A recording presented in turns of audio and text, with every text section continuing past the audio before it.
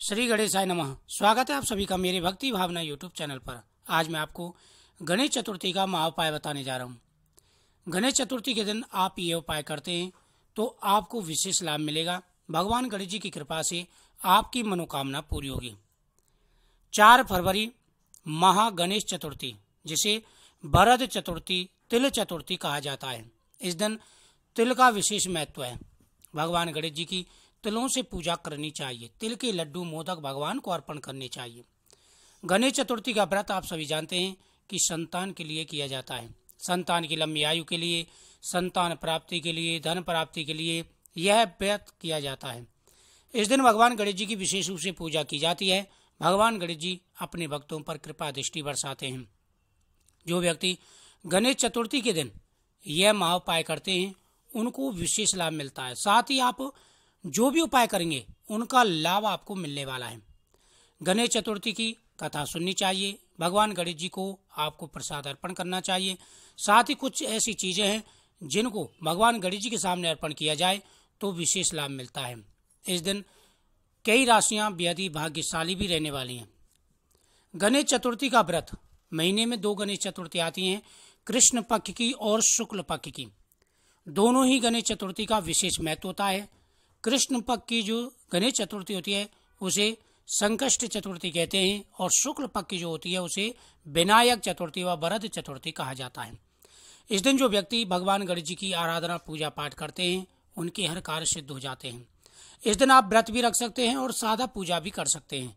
अगर आपके मन में कोई कामना है तो आप संकल्प पूर्वक यानी आप भगवान के सामने संकल्प करेंगे कि प्रभु, मैं इतने व्रत करूँगा, मेरी मनोकामना पूरी हो। आप ऐसा कह करके व्रत शुरू कर सकते हैं। गणेश चतुर्थी वाले दिन सुबह स्नान करें, उसके बाद में सूर्यदेव को अर्घ दें, उसके बाद में आपको भगवान गणेश जी की पूजा करनी है। इस दिन आपको बड़ वृक्ष की पूजा भी करनी चाहिए। बड़ वृक्ष और पीपल वृक्ष दोनों की पूजा का भी इस दिन विशेष महत्व होता है। भगवान गणेश जी की जब आप पूजा करें, सर्वप्रथम उनके सामने आपको दीपक जलाना है। दीपक जला करके अपनी मनोकामना बोलें, भगवान जी को रोली का टीका लगाएँ, थोड़े से चावल लगाएँ उसके बाद में आपको क्या चढ़ाना है? ध्यान से सुने। और इस दिन आपको गौ माता का पूजन भी करना है। दोस्तों, गौ माता का पूजन आप डेली किया करें? इसका विशेष महत्व होता है। अगर डेली ना कर सकें तो कुछ ऐसे दिन होते हैं जिनमें गौ माता की पूजा का विशेष महत्व है। जैसे गणेश चतुर्थी है, एकादशी है पूर्णमासी है, अमावस्या है, ये जो तिथियाँ आती हैं, इन दिनों में गणेश जी की और भगवान विष्णु की, गौ माता की पूजाओं का विशेष महत्व होता है। इससे हमारे हर कार्य सिद्ध हो जाते हैं। तो भगवान गणेश जी की जब आप पूजा कर रहे हो तो उनके सामने आपको हरी दुर्वा हरी दुर्वा आपको उनके सामने अर्पण करनी है। जब आप दीपक जलाएँ तो दीपक में दो लौंग आपको डाल देने हैं। इस बार दीपक जलाते समय आपको लौंग के साथ में थोड़े से तिल भी उसके अंदर डालने हैं और तिल के लड्डू भगवान को भोग लगाएँ। मीठा पान लौंग लगा करके भगवान गणेश जी को अर्पण करें, श्री गणेशाय नमः मंत्र का जाप करें।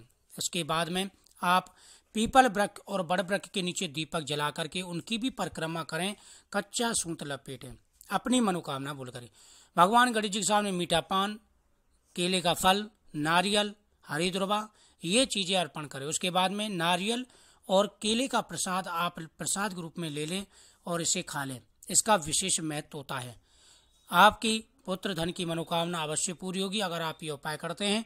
और इसके साथ साथ आप बच्चों की पढ़ाई के लिए, कैरियर के लिए, वह प्रत्येक कामयाबी के लिए उपाय कर सकते हैं। वीडियो को ज़्यादा से ज़्यादा शेयर करें, चैनल को सब्सक्राइब करें। साथ ही कमेंट में श्री गणेशाय नमा ज़रूर लिखें।